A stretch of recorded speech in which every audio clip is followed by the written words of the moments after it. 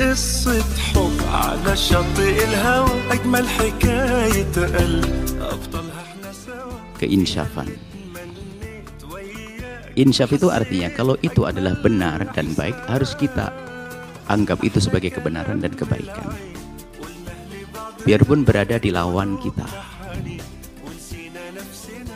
atau orang yang tidak sepaham dengan kita kalau itu baik harus kita akui sebagai kebaikan.